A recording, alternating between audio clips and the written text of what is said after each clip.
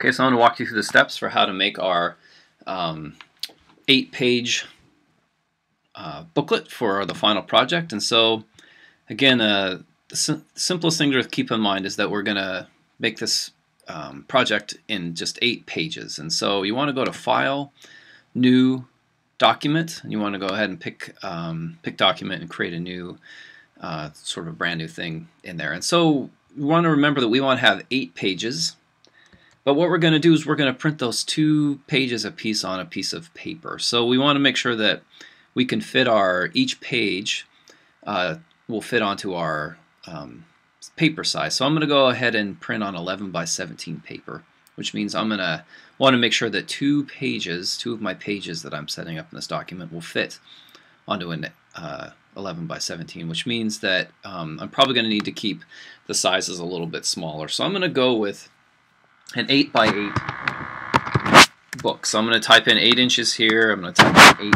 You have to make sure you type in the inches so that, that the uh, software knows that you're not using um, you know, points. So go ahead and, and click on that. And then uh, down here you want to make sure that you adjust your margins. So we're just going to adjust our margins all the way out to like one point on this. and then we want to make sure we adjust our bleeds. So I'm going to type in 0.125 inches again, right? And if I do that, it should convert all of these out, and you can see how it converts it from inches into points, but it doesn't matter as long as you kind of know what, you, what you've got going there. Um, so I'm going to go ahead and, um, you know, I've got all these settings set up the way I want, so I'm going to go ahead and click OK, and that should bring up a document here that has nice sort of tight borders, and you can see that the bleed is this area that's outside of the paper size here. So if this is my page, that means the images are going to bleed out past that, which means that I can get nice clean uh, sharp lines. There won't be a white border kind of around the image. So once I have this set up, then I just need to go ahead and um, you want to go ahead and open up your pages palette, which would be over here. And we want to go ahead and um, start setting up kind of our master pages. So if you want to just click on uh, the first page that you're working on. If you want to go ahead and put some guides in, so I'm going to do that. I'm just going to drop a guide in right here again. And if you can't see these guides, you want to go up to, um, let's see, view and make sure that rulers, so hide or show rulers, make sure that it's showing your rulers. And then you can just click on the ruler area up here and drag a guide down. You can do the same thing here.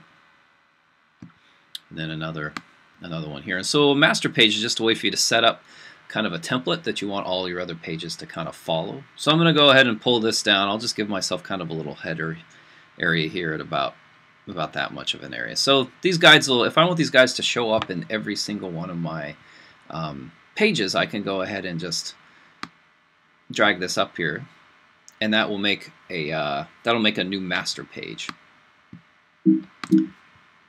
And so you can basically, uh, if you want to, you can just drag this master page down and it'll you can put it on you can apply it to your other pages. And so if you click on page 3 here it'll have that B master and if you apply it if you check this one it doesn't have the B master it just has um, the original one that we created. So we're going to go ahead and add this B master page to every one of these pages and all eight pages of the book. And that you could also have more than one kind of master page if you want to if that's helpful. But these should all basically have this um, set of guides that are built into it now. So now I'm set and I'm ready to kind of start placing things into my um, into my document.